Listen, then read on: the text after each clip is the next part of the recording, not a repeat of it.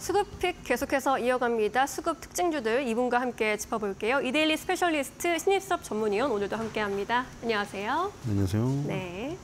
첫 번째 종목 바로 들어가 볼게요. 한화오션입니다. 한화오션 조선주 잘 갈 때 좀 혼자 주춤했던 종목이죠. 네, 이름이 멋있는데 이름처럼 못 가네요. 그 저는 대우조선해양이 더 입에 붙어가지고 대우조선해양이었는데 좀 이름이 조금 좀 세련돼졌죠. 왜냐하면 그 대우가 우리 기억에 너무 그 오래된 약간 김우중 그 회장님 자서전 생각나고 이러잖아요. 네. 그래서 하나가 요즘에 조금 그룹이 잘 나가잖아요. 젊은 느낌도 있고. 야구는 계속 안 나가는데 야구 빼곤 다 잘해요. 그래서 한화 젊은 느낌인가요? 어쨌든 한화 그룹이 그렇죠. 약간 네. 에어로스페이스도 그렇고 요즘에 잘 나가다 보니까 방산 쪽으로 잘 나가고 네. 지금 하나 시스템 같은 업체도 지금 잘 나가다 보니 뭔가 이 시장을 주도하는 듯한 대우는 이제 다 없어졌어요. 대우조선해양은 하나로 가서 하나오션 되고 네. 예전에 대우인터내셔널 미얀마에서 사업하던 대우인터내셔널도 포스코 인터내셔널로 가고 그 대우 글자가 이제 대우 들어간 게 없는 것 같습니다. 우리 그 생각에 예전에 네. 대우 김우중 회장 뭐 현대 정몽 정 정주영 회장 이렇게 또 굉장히 그 뭐 책들로 유명했던 사람들이잖아요. 양대 그, 산맥이었죠. 네, 그 시대가 이제 완전 가고 네. 요즘 바, 많이 바뀐 것 같아요. 그래서 대우조선해양도 이제 한화가 데려갔다. 음. 한화가 그래서 이제 육해공을 완성하게 됐거든요. 이게 육해공. 뭐 천무니 뭐 지금 뭐 저기 다른 육상에 관련된 부분들은 수출이 많이 일어났잖아요. 뭐이 그 이름이 생각이 안 나네.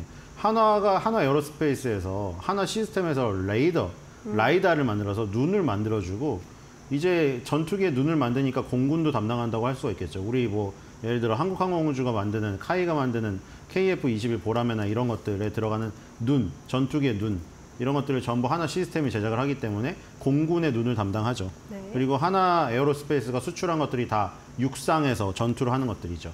이제 해가 남았죠. 육해공 중에. 그래서 해 쪽에 지금 어, 이 레퍼런스를 갖고 있는 대우조선해양을 데려오면서 방산 쪽에 육해 공군을 완성을 시켰어요. 근데 이제 그런 장점이 뿜어져 나오지 못하고 있었죠. 그냥 오히려 일반 상선에 굉장히 포커스가 맞춰지다 보니까 뭐 군함? 군함은 뭐 크게 뭐 그 나라의 어떤 사정에 따라서 계획에 따라서 하는 거지 뭐 그 돈을 뭐 이렇게 마- 많이 받을 수 있고 뭐 이런 이런 건 아니잖아. 그 요즘에 그리고 다 수출된 것도 그런 것들이잖아요. 자주포 아니면 전차 뭐 이런 것들이죠. 현대로템의 케이트 흑표 전차라던가 아니면 한화 에어로스페이스의 천무 같은 이런 뭐 이런 그 무기들이 주로 요 그 각광을 받았고 군함은 얘기가 잘 안 나왔어요. 그래서 대우조선해양이 군함을 만든다는 그 부분이 삼성중공업이라든가 현대중공업에 비해서 좀 다른 면이었는데 그게 네. 부각이 안 됐다. 근데 이제 조금 부각이 되려고 하는 것 같습니다. 그리고 일반 상선 부분에서는 다 비슷합니다. 다른 회사 회사들이랑 LNG 선의 그 비중이 노- 높아지고 있다. 그러니까 LNG 운반선일 수도 있고요. LNG 추진선일 수도 있습니다. 그러니까 추진이란 거는 연료를 그걸로 쓴다는 얘기거든요. LNG 추진이란 거는 LNG를 연료로 쓴다. 근데 목적이 LNG 운반선이면 LNG 연료 추진 LNG 운반선이 되겠죠. LNG를 연료로 쓰면서 자동차로 운반한다. LNG 연료 추진 자동차 운반선이 되겠죠. 어쨌든 간에 지금 LNG 운반선으로 나오고 있는데요. 이건 LNG를 옮기는 거죠. 네. 그래서 LNG를 연료로 쓸 수도 있고요. 뭐 지금 그 뭐 이산화황이 많이 발생되는 벙커C유를 써서 두 가지를 다 쓸 수도 있어요. 듀얼 엔진으로. 어때 올해 LNG 운반선 16척, 원유 운반선 7척, 암모니아 운반선 2척. 암모니아 이 선박도 요즘에 많이 나오죠. 암모니아를 운반하거나 암모니아 연료 추진으로 암모니아로 연료를 하는 이게 수소로 가기 위한 중간 단계거든요. 네. LNG 선에서 한 번의 수소 선박으로 가기 이전에 혹은 전기 선박으로 가기 이전에 그 중간 단계인 암모니아. 왜냐하면 암모니아를 가지 암모니아에서 수소를 뽑아낼 수가 있거든요.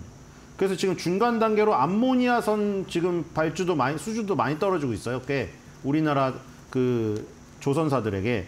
그래서 암모니아선 두 척이 여기도 지금 하나오션에도 들어왔고요. 가스 운반선 한 척. 그리고 해양이 한 기가 있네. 해양. 이게 보면은 배는 척이라고 하고요. 네. 해양 플랜트는 기라고 하죠. 그러니까 우리가 척이든 기든 크게 묶으면은 해양인데 엄밀히 따지면은 해양 플랜트랑 조선이 있는 거예요. 해양 플랜트는 배를 닮은 닮았는데 배가 아닌 걸 수도 있고요. 예를 들어 드릴십 같은 경우에는 십이 들어갔으니까 배잖아요. 배의 모양을 하고 있지만 그건 해양 플랜트입니다. 배처럼 떠다니는 기능도 있지만 중요한 목적은 배 한 가운데 시추공이 달려 있어서 해양에서 시추를 하는 애기 때문에 드릴십은 해양 플랜트 쪽으로 분류가 돼요. 그러니까 드릴십은 10이라고 되어 있지만 척이라고 안 하고 기라고 하겠죠. 드릴십 한 기를 수주했다. 이렇게 하겠죠. 여기도 하나의 호전도 해양 한 기를 수주했는데 뒤에 나올 거예요. 고정식 원유 생산 설비를 하나 수주했습니다. 고정식이 하나 오전 대우조선 해양일 때부터 강점이 있었던 것이고요. 그래서 이걸 다 합쳤더니 27척이 나오고 53억 3천만 달러 어치입니다. 그러니까 27척하고 괄호 치고 기가 돼 있는데 제가 기 뺐어요. 6개월 만에 지난해 전체 수주 실적 35억 2천만 달러를 초과했습니다. 그러니까 지금 53억 3천만 달러가 6개월 만에 달성이 됐는데 작년 1년 동안 35억 했거든요. 그러니까 35억 달러. 그러니까 이것보다 훨씬 더 이미 수주가 넘어섰죠. 그리고 NextDecade라는 회사의 지분을 인수합니다. 이 회사가 하는 게 그 리오 그란데라는 데서 수출 터미널 사업을 하는데 무슨 터미널이냐면 LNG 터미널.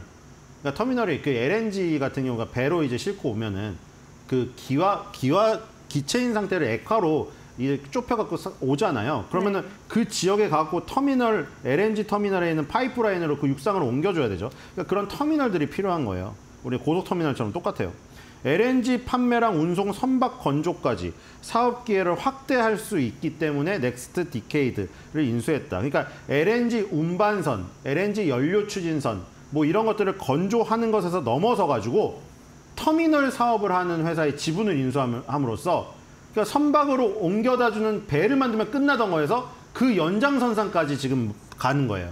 이제 그 LNG를 판매하고 운송하는 것까지 사업을 하려고 하는, 하고 있고요. 네. 그다음에 이제 드디어 방산이 나옵니다. 대우조선해양일 때부터 그 강점 아까 말한 그 강점이 미국 필리조선소를 인수했는데 미국 필리조선소에서 주로 하는 게 프리깃함이에요. 프리깃함.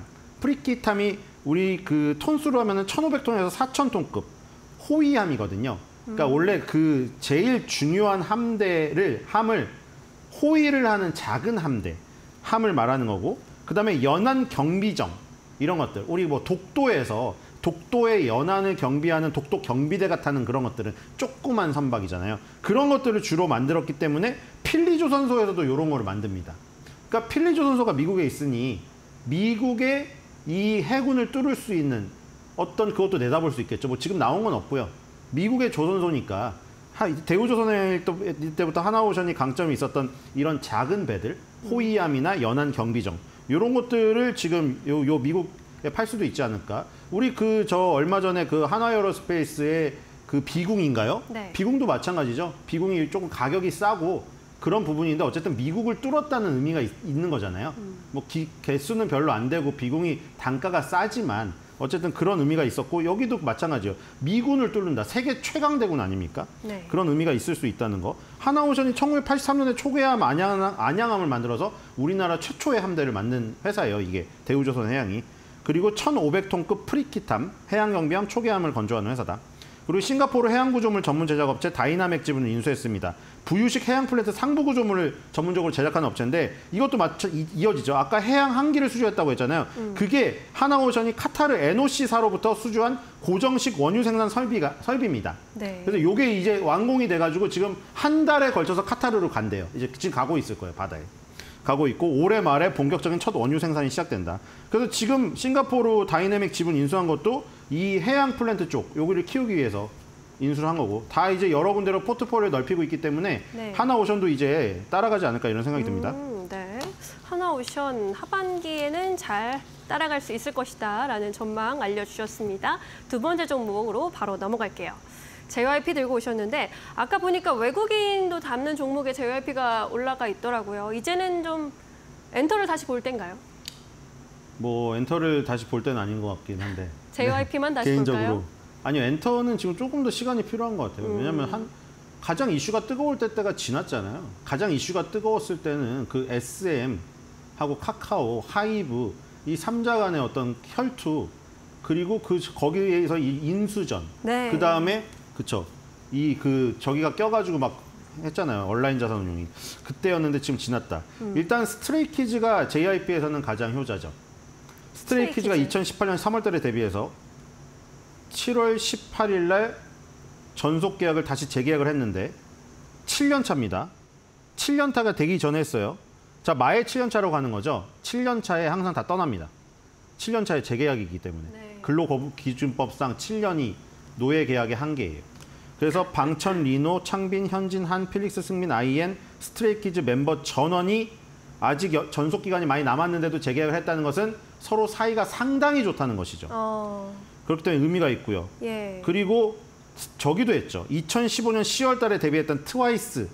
네. 2022년 7월 달에 계약 만료 3개월 앞두고 전원 재계약했습니다. 그러니까 여기서 느낄 수가 있는 거죠. 다른 회사들, 기획사들은 이런 분쟁이 많거든요. JYP 박진영 씨와 이 돈독한 관계. 음. 물론 B 씨는 잘 되라고 떠나 보내드린 거고. 계단 계단 B요? 만들고 갔대잖아요. B. 씨가 아. B 씨가 자기가 지금 사옥에 계단 만- 계단 기둥 정도 만들었다고 하잖아요. 네. 근데 JYP가 우리 사옥 옮겼는데 이랬잖아요. 근데 어쨌든 간에 사이가 좋다.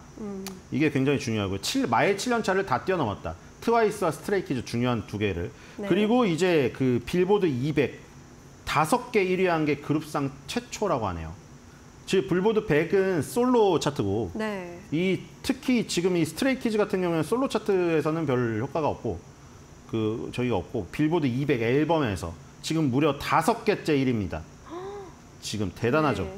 네. 2022년 3월달에 오디너리 빌보드 200 첫 1위 했고요.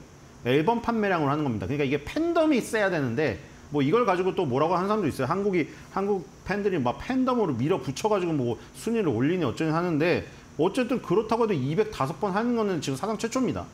없어요.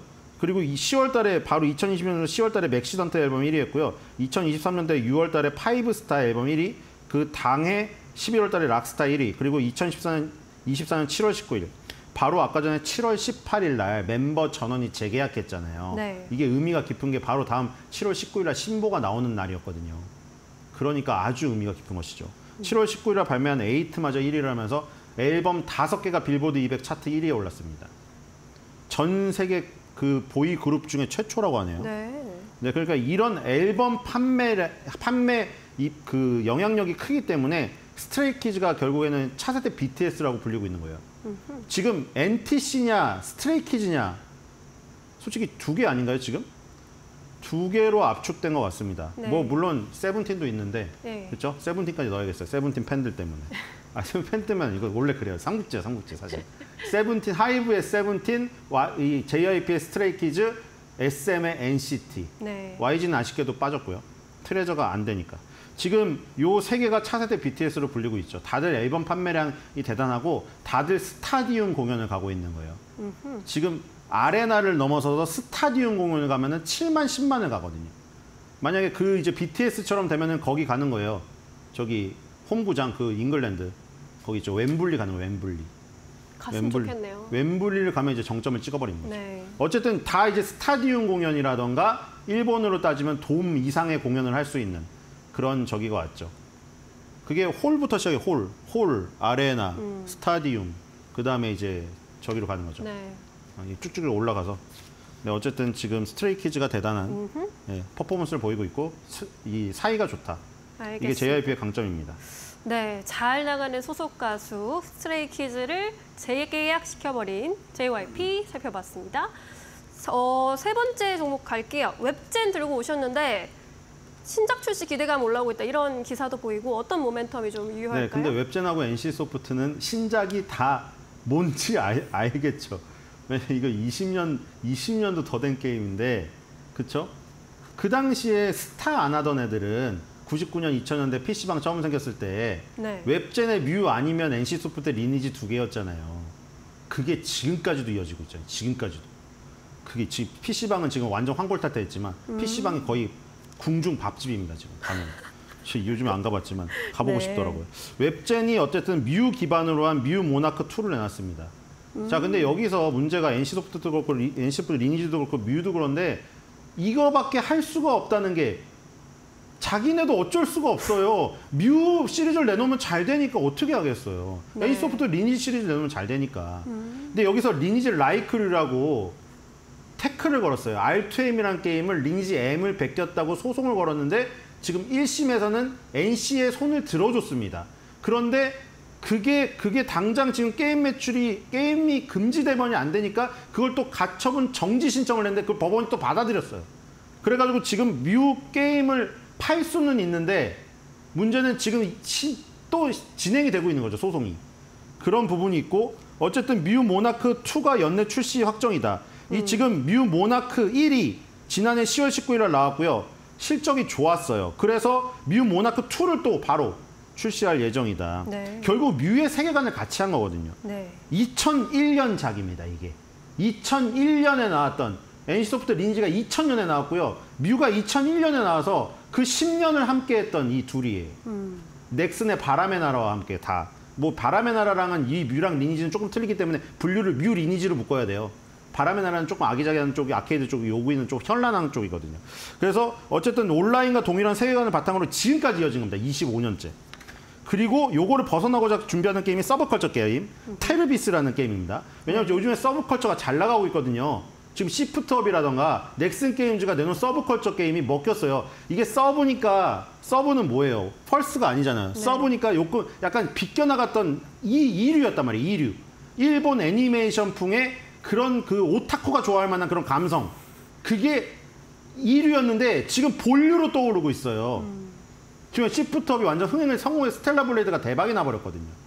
일본 애니메이션풍의 말도 안 되는 비율의 여자들이 나와가지고 막 총싸움을 해버리고 괴물을 죽이고 이러니까 열광해버린 거예요. 그래서 지금이 서브컬처의 어떤 기회가 와버린 거죠. 네. 그래서 이거를 딱 노리려고 테르비스를 준비 중인데 잘 돼야 됩니다. 테르비스. 테르비스. 테르비스 라틴어 대지를 뜻하는 라틴어 테라에다가 순환을 의미하는 오르비스를 합친 거예요. 테르비스. 어쨌든 뭐 의미는 다 좋으니까 네. 중요한 거는 이게 만약 성공을 하면은 이제 포트폴리오 확장을 할 수가 있는데 이게 안 되면 결국에 또 MMORPG 뮤 그러면 또 NC 소프트 리니지가 계속 태클 거는 거죠. 그거에 시달릴 거예요. 그렇기 때문에 뭐 넥슨 게임즈라던가 지금 시프트업에서 뽑아낸 서브컬처 게- 게임을 예를 들어 loot loot shooter 장- 장르라던가 액션 RPG라던가 이런 거로 접목을 시켜서 성공하는 케이스를 내놓으면 이 지금 이 트렌드에 합류할 수가 있습니다. 그러니까 서브컬처 게임을 막 그 옛날에 프린세스 메이커처럼 공주 키우기 이런 걸로 하면은 정말 오타쿠들만 해요. 근데 지금 왜 그게 본류로 들어왔냐면 아 프린세스 메이커 왜요? 액션 아니 그러니까 그게 좋아하는 사람은 있는데 네. 그게 대중성이 없는 거죠. 아 갑자기 그걸 갖고 나. 갖고 와가지고 야 나 어제 공주 키웠는데 공주가 예쁘게 자랐어 이런 거를 네. 대화를 나눌 감성이 우리나라에서는 아직까지 안 돼요. 어... 근데 스텔라 브레이드 같은 경우는 틀린 거죠. 액션 어드벤처 장르. 그리고 네. 더 나아가서는 지금 뭐 저기서 나왔던 이 넷마블에서 나왔던 P의 거짓, 아, 네오위즈에서 나왔던 P의 거짓 같은 네. 그런 스타일의 액션 활극이 펼쳐지기 때문에 그거는 더 대중화가 되는 거죠. 대신에 그 캐릭터만 그럴 뿐이에요. 캐릭터만. 음. 네. 캐릭터만 일본 3D 애니메이션 풍의 캐릭터가 나오는데 걔네가 막 미소녀스럽게 막 공주처럼 나 먹여줘, 뭐 책 읽어줘 이런 게 아니라 괴물을 무찌르니까 대중성이 있는 거예요. 역시 게임은 그러니까 무찌르는 100인치 텔레비전을 배 텔레비전에서 부부가 같이 콘솔을 하고 있는 거죠. 야, 그쵸. 아니 100인치 텔레비전에서 둘이 부부가 앉아가지고 혹은 연인이 앉아가지고 어그 콘솔을 프린세스 메이크 공주 키우기 하고 있는 장면은 진짜 아니에요 이거는 그거는 대중성이 없어요. 그러니까 아, 지금 네. 대중성이 있어서 터진 게 그것 때문이에요. 그걸 액션 RPG라던가 네. 배틀그라운드 같은 TPS 장르로 했는데 터진 거예요. 그게. 네. 그래가지고 만약에 테르비스도 거기에 성공을 한다면 드디어 이걸 벗어날 수가 있습니다. 음. 2001년부터 PC방은 지금 웰치스 6계정만 파는 데서 벗어났는데 아직도 NC소프트는 리니지고 웹젠은 뮤예요. 음. 이걸 벗어날 기회는 지금이다. 네. 테르비스의 성공을 꼭 기원해야 된다. 웹젠의 주주분들은. 네, 알겠습니다. 뮤 모나크 2 기대감 안고 있는 웹젠까지 살펴봤습니다. 게임즈까지 알아봤습니다. 지금까지 신일섭 전문위원이었습니다. 오늘 말씀 고맙습니다.